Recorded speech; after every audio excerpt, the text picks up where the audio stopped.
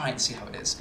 And the water came up, and I kind of did that thing where you run back from the water, and I took the ashes and I shh, and the water went back, and I was like, oh my god, that's great. And I looked down, and there are the ashes. They didn't go out with the tub.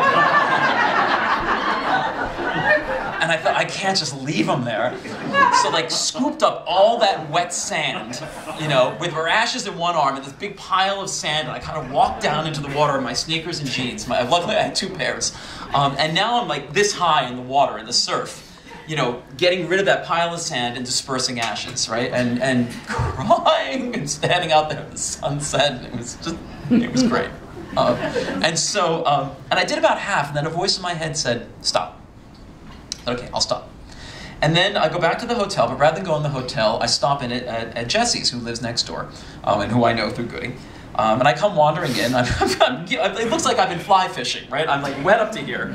And I walk in with this bag with half of my dead mother in it. And uh, to which her friend Linda, when I said, I said, I said, what are you doing? I said, oh, hi, I was, you know, I'm here with my dead mother. And, and Linda said, you know, most people just bring a bottle of wine.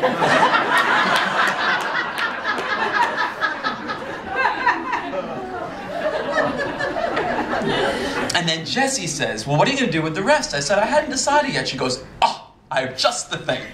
She said, At the Newport Airport, what do you call it? Seaport Airport? What do you call it? Seaport. Is it Seaport Airport? Yeah. Okay. No, what do you call it? Seaport Airport. What's the name of the airport? Can we all agree? Newport. Newport Airport. Newport Airport. That's cute. So, yeah.